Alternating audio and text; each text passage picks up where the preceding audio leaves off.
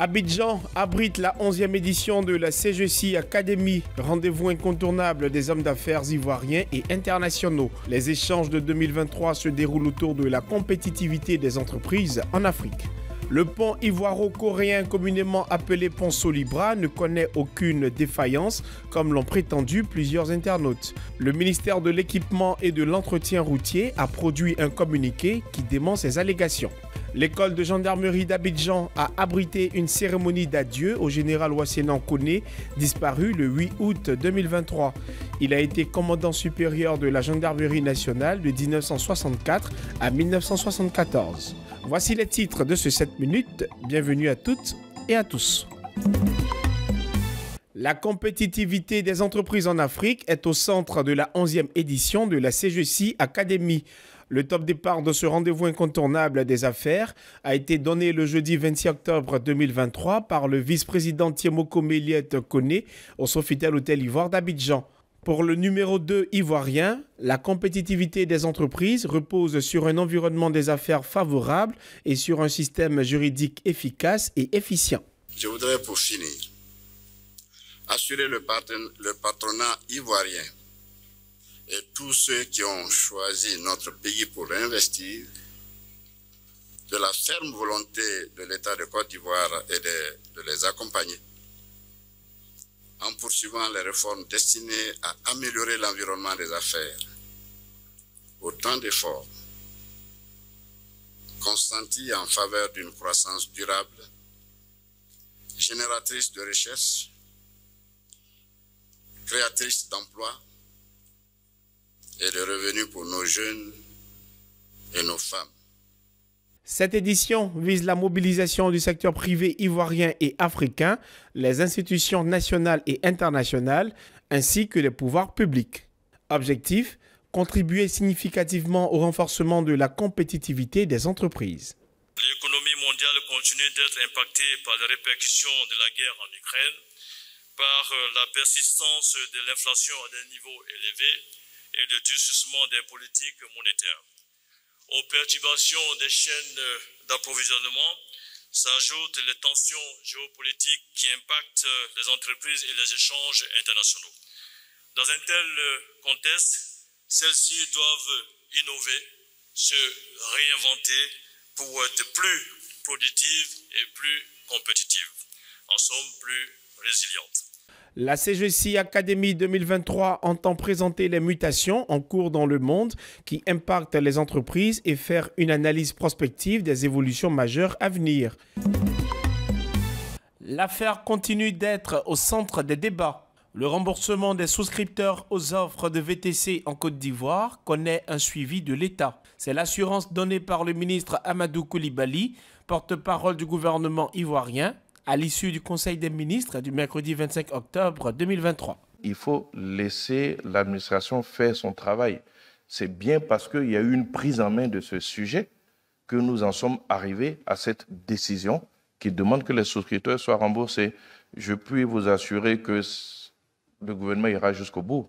On ne peut pas commencer une action et puis s'arrêter là. Mais je peux comprendre l'impatience des souscripteurs c'est normal. Je peux comprendre leur inquiétude également, mais je puis les assurer que si le Trésor a décidé qu'ils doivent être remboursés, le Trésor ira jusqu'au bout. Pour rappel, le 17 mai 2023, le directeur général du Trésor et de la comptabilité publique a décidé de suspendre les souscriptions aux offres de cette activité. Un audit a été commandité pour cause de suspicion de risque de blanchiment d'argent.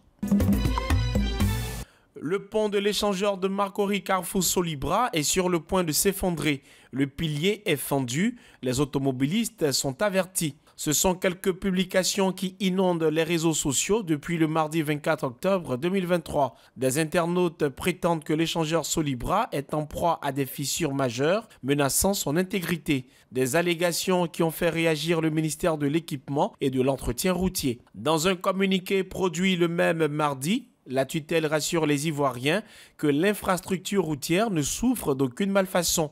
Selon les gestionnaires des travaux, la fameuse fissure présentée sur les réseaux sociaux n'est en aucun cas un signe d'effondrement du tablier de l'échangeur. Pour rappel, la construction de cet échangeur est financée à hauteur de plus de 25 milliards de francs CFA par le gouvernement japonais en coopération avec l'Agence japonaise de coopération internationale. Les travaux sont à leur deuxième phase.